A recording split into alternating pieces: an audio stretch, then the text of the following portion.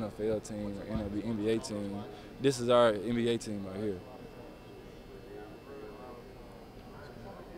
Coach Anderson has talked a lot about uh, you wanting to be one of the greatest Razorbacks of all time. Now you're finally starting to get that shot. You know, just talk about how that's felt for you. Uh, my goal is coming in my freshman year. I want to be one, I want to be I want to be recognized as one of the greatest Razorbacks of all time. I want to be I want to be like one of the leading points leaders and one of and one of the leading rebounders. So I'm just taking it day by day just to get better right now. But as time progresses, I want to be one of the greatest when it's all said and done.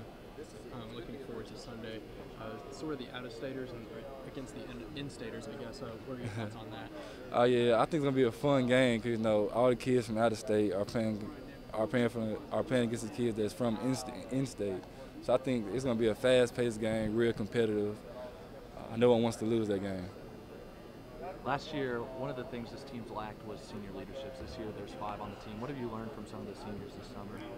Oh, one big thing I learned from Coty Clarke is just, was just to be myself because you know, I, like, I came in, I was kind of, I'm not gonna say I was nervous, but like I was just, I wasn't myself. You know, I came in, I wasn't, I was like, I wasn't being consistent.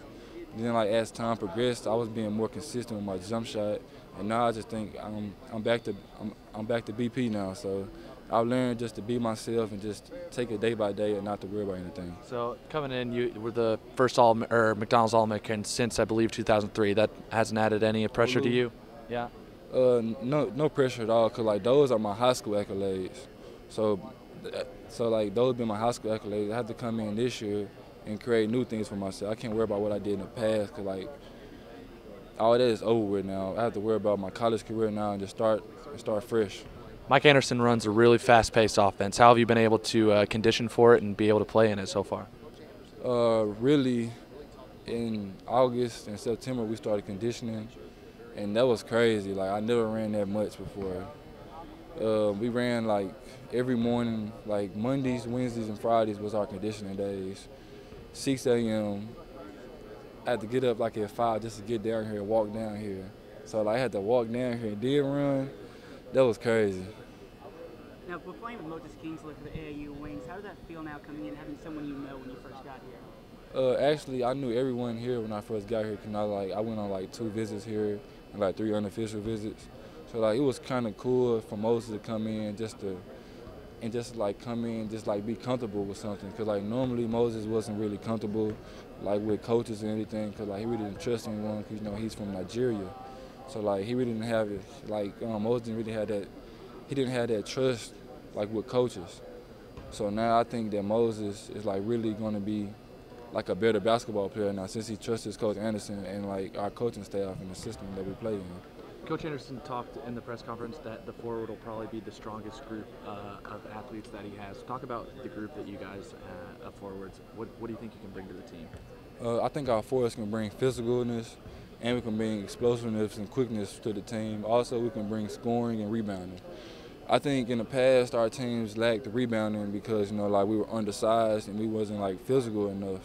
But like this year, you know, we had me and Moses, both of us are 6'9", 6'10", and we had Coty Clarke. He was like Coty Clarke was the lead rebounder last year.